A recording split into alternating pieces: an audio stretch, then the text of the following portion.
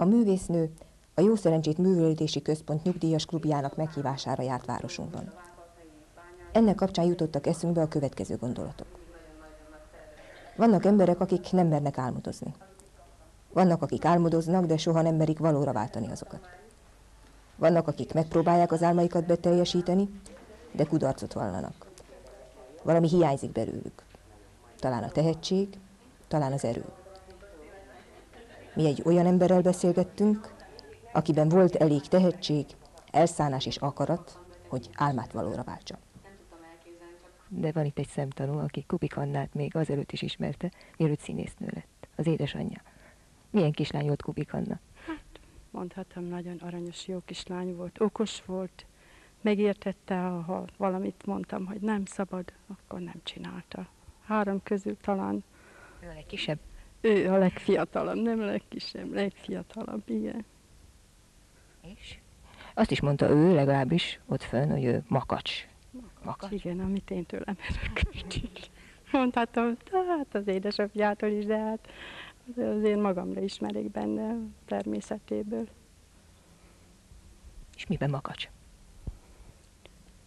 Hát, ezt, ezt nem tudom megmondani, hát az önállóságát tartja, úgyhogy nem enged abból, amit ő elképzelt. Hát, hát ami, amit ő el tetszik menni minden bemutatójára? Igen, igen, családdal, lányokkal, igen. Melyikben tetszett legjobban idáig? Hát én mondhatom minden, nagyon mindegyikben? tetszett, hát mindegyikben, de hát azért az Advent Argitán azt már háromszor láttam. Sikerült háromszor megnézni. És milyen gyakran tud ő hazajönni, meglátogatni az anyukáját és a családot? Hát nyári időben egy kicsit sűrűbben jön. Hát ilyenkor már elkezdődik az évad, akkor már ritkábban tud jönni. De ezt én beismerem, hogy belátom, hogy nem, nem megy úgy, mintha más pályán lenne, és akkor jöhetne, amikor tud. Büszke rá nagyon? Hát, hogy büszke, én természetem nem a büszkeség, de nagyon örülök azért. hát, hát, mint minden anya, hát persze, hogy nagyon örülök, hogy ezen a pályán sikereket ért el. A virágot jelentő deszkákon állunk, és még nem gördült fel a függöny. De a függöny előtt vagyunk, és most egy olyan szerepet kell önnek alakítani, amilyet nem biztos vagy nem mindig alakít. Az első kérdésem az lenne, hogy mi kell ahhoz, hogy valaki színész legyen? Olyan sok lány álmodozik arról, hogy egyszer színésznő lesz. Önnek sikerült. Mi kell ahhoz, hogy színésznővé válhasson az ember? Jaj, nem tudom ezt azt hiszem, hogy pár mondatban vagy pár szóban megfogalmazni. Hát az álom az mindenképpen kell hozzá, és aztán utána nagyon-nagyon sok munka, türelem, elszánás, és sok-sok szenvedés is, és aztán sok-sok öröm is. Azt, hogy, hogy a tárgyi feltételek mik, azt azt hiszem, hogy fölösleges elsorolni, az vagy van valakinek, vagy nincs. Inkább arról, arról a részéről beszélnék szívesen, hogy ez a pálya nem annyira napfényes, és nem csak annyira sikeres és ö, szép, mint ahogy az kívülről látszódik, hanem nagyon sok munka van mögötte, és nem olyan könnyen adódnak a sikerek, mint ahogy az látszik. Ez egy nagyon magányos pálya? Igen. Eleve. Igazából ö, az a fontos segítség, ami egy rendező részéről mondjuk a színésznek kijut, az csak egy külső erő. Ez mindig, mindig önmagunkban kell letisztázni egy szerep lényegét, mindig saját magamból fakadóan kell, hogy az érzések, az érzelmek jöjjenek. Nem könnyű dolog, és mindig nagyon nagy önmagába fordulást eredményez tulajdonképpen egy szerep megalkotása. Elég magányos. Egy nő életében azért általában elég fontos a család és a gyerekek. Ön hogy érzi? Mit veszített azzal, hogy színésznő lett, és mit nyert? Én ezt így még nem tettem fel ezt a kérdést.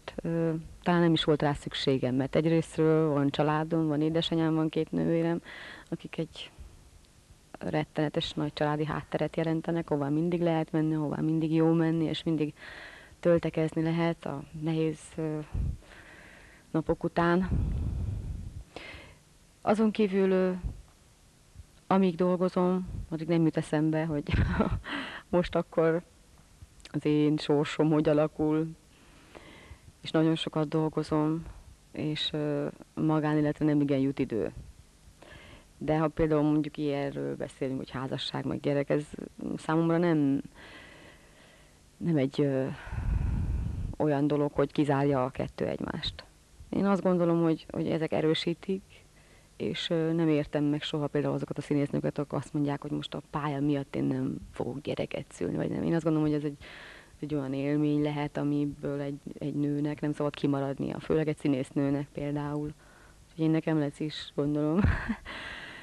nem is szeretnék ebből kimaradni. És ö, magánéletnek mindig nagyon nagy jelentőséget tulajdonítottam, hogy az, az fontos, és, és nem lehet csak úgy dolgozni, úgyhogy ez rendben van. Én hallgattam most odafennönt, és az volt a benyomásom, hogy olyan makacsul sugárzó tisztaság árad önből. Hogyan tudja ezt megőrizni? Nem tudom, hogy... Nem farkas törvények uralkodnak ezen a pályán? De igen, csak talán nem kell vele törődni, vagy engem nem foglalkoztat legalábbis. Én mindig a munkámat igyekszem elvégezni, és nem érdekel, hogy, hogy mi történik mögöttem, milyen suskusok. Hiszen ezzel foglalkozna az ember, annyi energiát vesztene, amivel nem lehet, nem lehet megmaradni. Sokan vannak, akik ebbe vele is fulladnak bizony, hogy a pályának ezzel a részével törődnek leginkább. Én azt gondolom, hogy azt kell kamatoztatni, ami nekem van. Én ilyen szülőktől származom, amilyenektől, én ilyen környezetből jöttem, amilyenből, és nekem, én nekem ebből kell építkeznem. És ez, ezt tartom nagyon fontosnak, nem pedig azt, hogy, azt, hogy a mellékzöngéit a pályának, azokat erősítgessem, vagy azokkal foglalkozzam. Melyik volt a legkedvesebb szerepe? A színpadi? Az egyelőre az Advent a Hargitán rékája. A filmszerep talán ott már van több is, a tanítónő, Dada, Tánya, Gyökér és Vadvirág, ezek a legszebb filmek még, amik vannak. Játszott már rossz embert színpadon, vagy filmen? Igen, igen, játszom, és, és törekszem is rá, hogy ne csak mindig szép történelmi szerepeket játszam.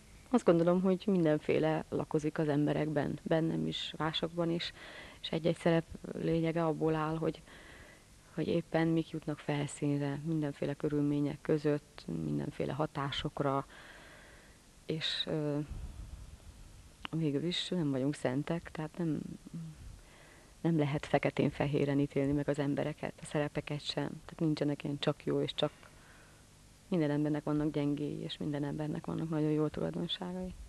Olyan bolond és rohanó világban élünk. Szüksége van ma az embereknek színházra, szüksége van ma az embereknek színészekre. Most divat azt mondani, hogy nincsen, de én szerintem nagyon is van. Vagy nekem van nagyon nagy szerencsém, és azokban az előadásokban, amikben játszom, ott mindig, mindig rettenetesen sokan vannak, és hála Istennek látogatják a színházat. Én úgy gondolom, hogy ma igenis különösen nagy szükség van a hitre, amit egy színház adhat, egy színházi előadás adhat.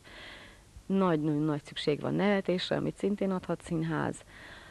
Egy kis megkönnyülésre, egy kis felsóhajtásra, vagy éppen az ellenkezőjére. Tehát én szerintem az emberek újból járnak, ha így lehet mondani, vagy pedig újból járni fognak, én nagyon remélem, mert nagyon sok körülöttünk a gép. És az emberek előbb-utóbb, vagy hát én akikkel érintkezem, vagy beszélgetek, azok mindig is azt mondják, hogy jó érzés igazi, akkor megélt pillanatokat látni. Ez a színház varázsa, hogy éppen ott történik az én orrom előtt, én szemem előtt, és én, én hallom, és látom, és, és váratlan, nem pedig ez a rengeteg videóklip, meg videófilm. Azt gondolom, hogy ez igazából nem is versenytárs, bár igyekeznek úgy beállítani, hogy, hogy ez a színházat el fogja sorvasztani. Én nem hiszek benne. Hát ha, ha ezt hinném, akkor nem is tudnám csinálni, azt hiszem. A fönti beszélgetés vidám volt, jókedvű. Egy pillanatra a színésznő kiesett a szerepéből. Nem volt az a vidám és kedves hölgy, aki most eljött közénk, amikor az édesapjáról beszélt. Most azért nehéz ez, mert igazából ez is magánügy szerintem. De hát jó beszéljünk róla, az édesapám meghalt, bányász volt, itt volt bányász Várpalotán. Mit adott önnek útravalóul? Mit kapott tőle, amitől más? Mindent, ami vagyok, mindent. Mindent tőlük kaptam, és szüleimtől, és és hát ezt nem lehet elmondani, hogy mennyire hiányzik.